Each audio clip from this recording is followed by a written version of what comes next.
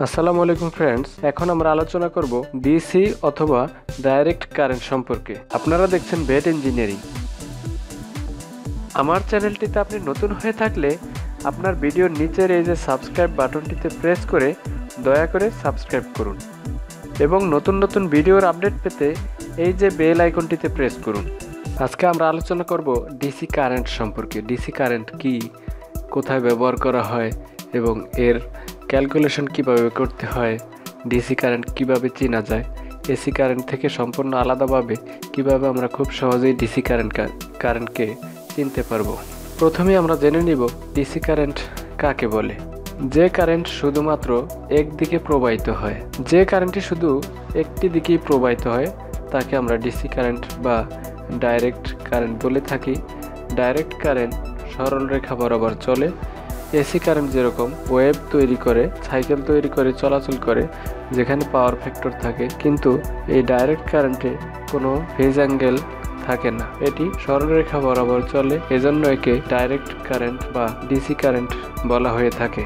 DC কারেন্টের লেটারিক প্রতীক হচ্ছে I আমরা এসি কারেন্টেরও লেটারিক প্রতীক আই দেখেছিলাম, এবং এই ডিসি কারেন্টের একক হচ্ছে এ অ্যাম্পিয়ার এটা হচ্ছে এ এবং এই, এ দ্বারা আমরা অ্যাম্পিয়ারকে বুঝে থাকি, কিন্তু আমরা এসি কারেন্টকেও অ্যাম্পিয়ারে প্রকাশ করি, এ দ্বারা এর সিম্বল আমরা বুঝে থাকি। এ দ্বারা সহজে আমরা এর প্রতীক অ্যাম্পিয়ার, এটা আমরা জেনে থাকি।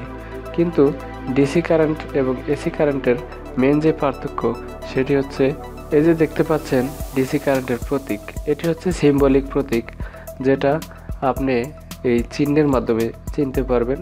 এই যে ইকুয়াল সাইনের মতো যে চিহ্নটি দেখতে পাচ্ছেন, এটি হচ্ছে ডিসি কারেন্টের সিম্বল আমাদের এর পাশে যদি এ লেখা থাকে, যে আমাদের কারেন্টের একক যেহেতু অ্যাম্পিয়ার এ দেওয়ার পরে এই চিহ্নটি যদি থাকে, এই যে ইকুয়াল সাইনের মতো যে চিহ্নটি দেখতে পাচ্ছেন, এই চিহ্নটি যদি থাকে, তাহলে আমরা বুঝব এটি ডাইরেক্ট কারেন্ট আর অল্টারনেটিং কারেন্ট যদি হয়, সেটাও আমরা এর অন্য একটি ভিডিওতে আলাপ করেছি। সেই ভিডিওটি আপনি দেখলে খুব সহজেই বুঝতে পারবেন। অল্টারনেটিং কারেন্টে কিন্তু একটি ওয়েবেক সিম্বল থাকে, যেটি ফেজ অ্যাঙ্গেলকে বোঝানো হয়েছে। এখন দেখব আমরা এই ডিসি কারেন্টের সূত্র। ডিসি কারেন্ট আমরা কীভাবে বের করতে পারি? ডিসি কারেন্টকে বের করতে হলে আমাদের সার্কিটের পাওয়ার এবং ভোল্টেজ আগে দেখতে হবে।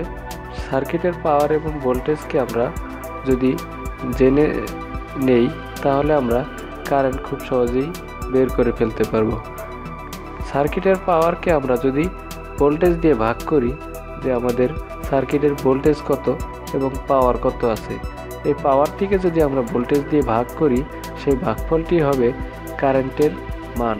অর্থাৎ ডিসি কারেন্টকে আমরা বের করতে গেলে শুধু ওই সার্কিটের পাওয়ারকে ভোল্টেজ দিয়ে আমরা ভাগ করে দেব। ধন্যবাদ আপনাদেরকে আমাদের সঙ্গে থাকার জন্য। ওকে ফ্রেন্ডস আমাদের ভিডিওটি যদি আপনাদের কাছে ভালো লেগে থাকে, তবে লাইক কমেন্ট শেয়ার এবং অবশ্যই সাবস্ক্রাইব করে আমাদেরকে আপনাদের সঙ্গে রাখুন।